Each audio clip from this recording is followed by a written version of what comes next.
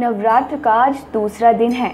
और आज हम आपको बताएँगे कि दुर्गा माँ के किस स्वरूप की पूजा होती है। कल आपने हमारे वीडियो में देखा था कि माँ दुर्गा के प्रथम रूप, माँ शैलपुत्री की पूजा किस प्रकार की जाती है और उन्हें कैसे खुश किया जाता है। आगे के वीडियो में आप जानेंगे कि माँ दुर्गा के दूसरे रूप की पूजा कैसे करें और उन्हें कैसे प्रसन्न करें।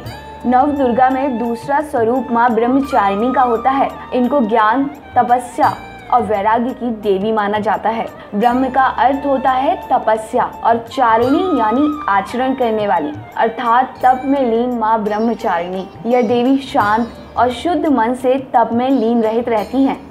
देवी ब्रह्मचारिणी के दाहिने हाथ में अक्षमाला और बाएँ हाथ में कमंडल होता है। माँ ब्रह्मचारिणी के कई अन्य नाम भी हैं, जैसे उमा, अपर्णा और तपस्चारिणी छात्रों और तपस्वियों के लिए इनकी पूजा बहुत ही शुभ और फलदायी होती है।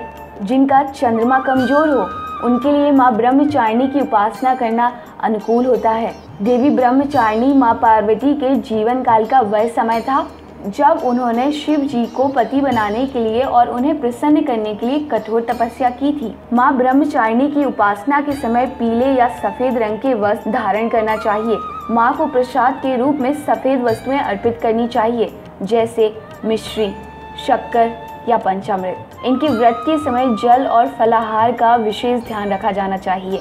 माँ को खुश करने के लिए दधाना करम पाभ्याम माला कमंडलु। देवी प्रसिद्धतु मई ब्रह्मचारिणीनुत्तमा मंत्र का जाप करना उचित होता है। माँ दुर्गा के तीसरे रूप में किस देवी का पूजन होता है और उसकी विधि क्या होती है, जानने के लिए देखिए हमारा अगला वीडियो।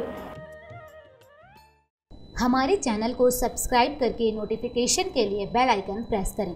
हमारी वीडियोस को लाइक और शेयर करें। साथ ही अपने सुझावों को हमें कमेंट के ज़रिए भेजें।